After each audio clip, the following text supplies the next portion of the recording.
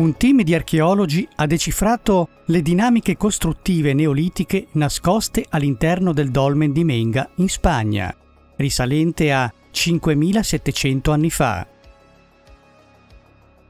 Non solo sono state scoperte sofisticate metodologie ingegneristiche e di costruzione, ma l'allineamento della supposta tomba con le colline circostanti ha offerto ai visitatori uno spettacolo di luci ultraterreno.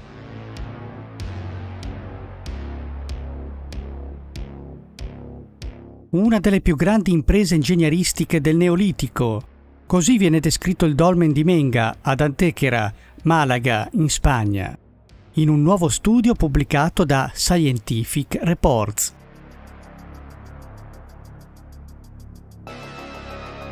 Datata circa 5700 anni fa e situata in cima a una collina, questa è la più grande struttura megalitica conosciuta costruita in quella che oggi è l'Europa.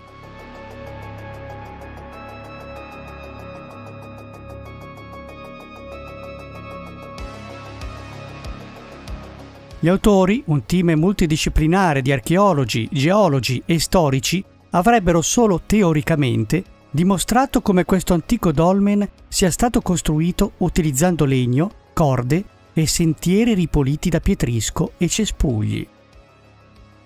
Già, sembra che per spostare queste enormi pietre bastassero solo queste accortezze. Si stima che uno degli enormi menhir all'interno della struttura pesi più di 100 tonnellate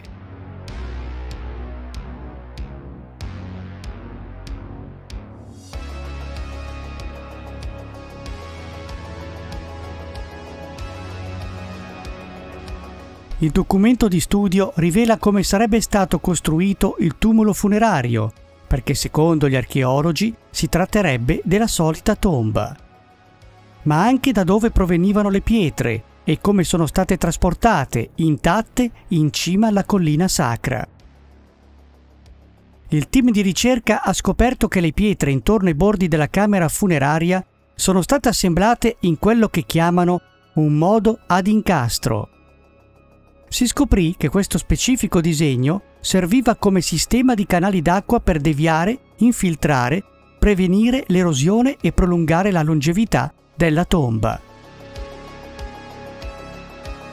Inoltre, la nuova ricerca rivela considerazioni archeoastronomiche nell'orientamento della struttura, poiché è stata deliberatamente allineata con le montagne vicine, in modo da creare complessi modelli di luce all'interno della camera. Lo studio spiega che per comprendere meglio la composizione delle pietre sono state applicate tecniche di analisi petrografica e stratigrafica.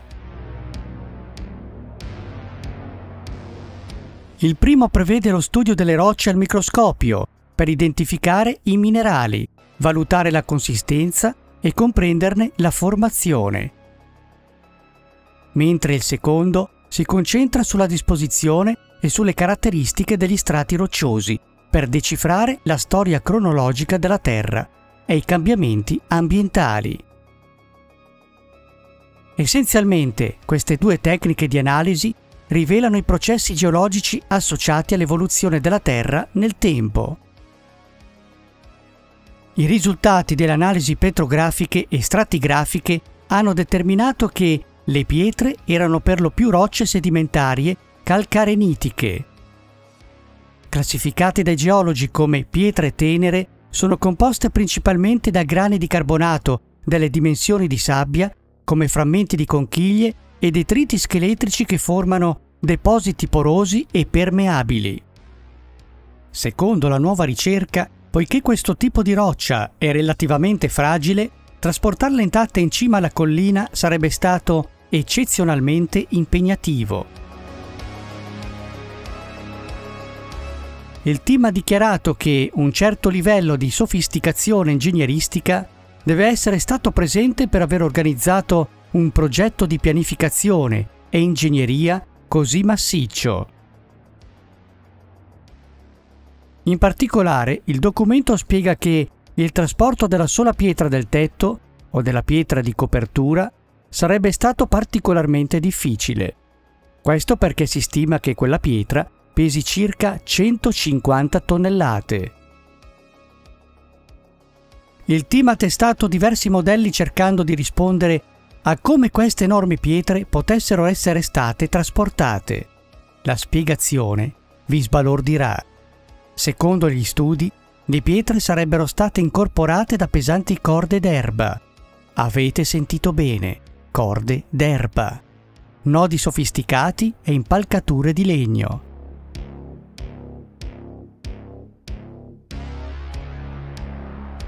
Naturalmente per facilitare il trasporto, i lavoratori primitivi dovettero ripulire la strada.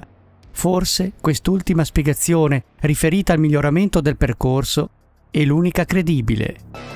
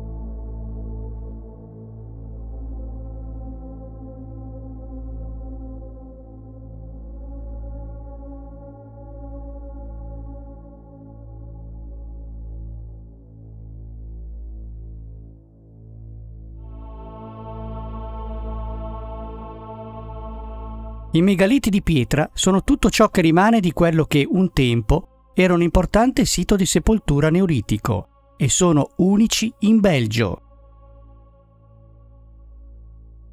I megaliti e le altre pietre rette di Veris risalgono al 3000 a.C. Questo è noto come l'età calcolitica. È considerato parte del Neolitico o della tarda età della pietra ma in questo periodo veniva utilizzato anche del rame.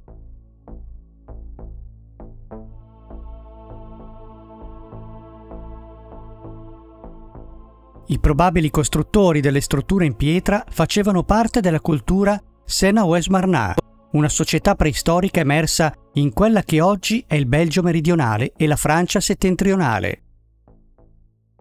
Sono stati identificati come una cultura separata e unica, in base alle loro ceramiche, ma sembra che avessero ampi legami con altre culture. Ciò è evidente nel design dei loro vari monumenti, come quelli di Varis, che sono simili agli esempi trovati in Bretagna, in Francia.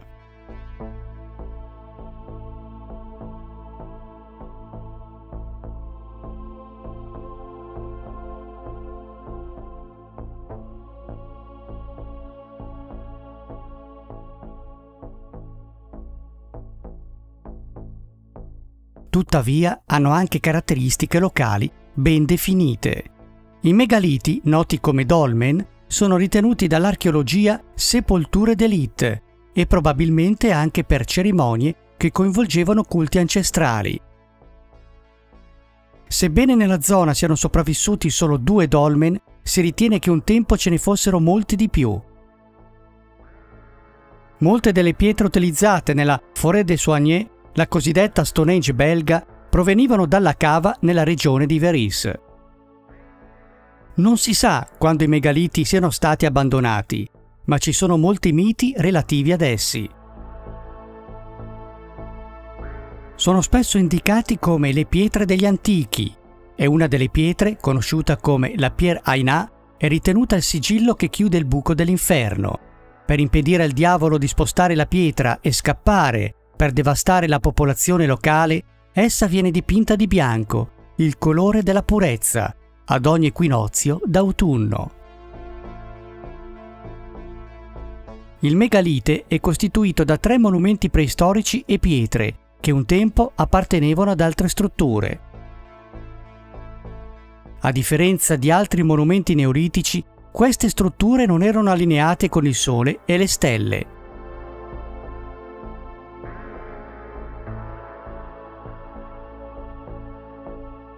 I megaliti di Veris si estendono per una distanza di 8 chilometri.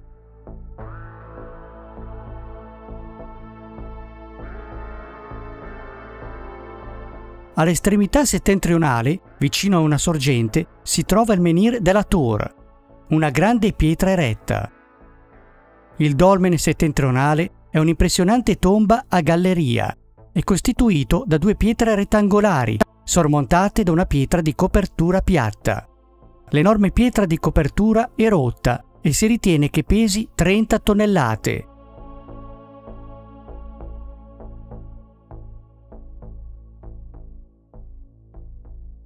Il dolmen ha un'anticamera dove un tempo esisteva un viale fiancheggiato da pietre che conducevano alla struttura. Questo monumento è stato ampiamente restaurato all'inizio del XX secolo.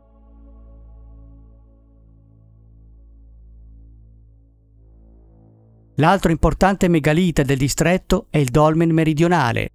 È un altro tipo di struttura a galleria ed è lunga circa 10 metri. Una delle cose più interessanti di questo monumento è il suo foro dello spirito, una piccola apertura nella pietra dove venivano fatte le offerte agli antenati o agli spiriti, così si suppone. I megaliti si trovano al di fuori del pittoresco villaggio di Veris, nella provincia del Lussemburgo, nel sud del Belgio, dove un museo nel villaggio è dedicato a queste enigmatiche strutture che vengono dogmaticamente ritenute tombe.